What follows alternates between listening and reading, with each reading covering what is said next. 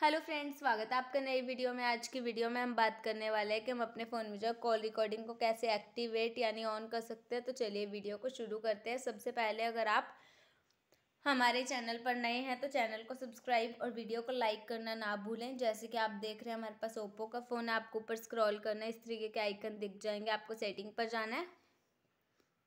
Sorry, आपको यहाँ जाना था, फ़ोन के आइकन पर क्लिक करना है, उसके बाद इस तरीके का आइकन दिख जाएगा, आपको टू डॉट्स पर जाना है और सेटिंग पर जाना है।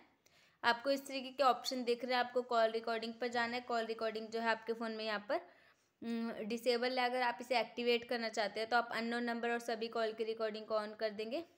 उसके बाद जब भी आप किसी को कॉल करेंगे इस तरीके से, या आपके पास किसी भी कॉल आएगी कॉल रिकॉर्डिंग इस तरीके से आपके फ़ोन में एक्टिवेट हो जाएगी।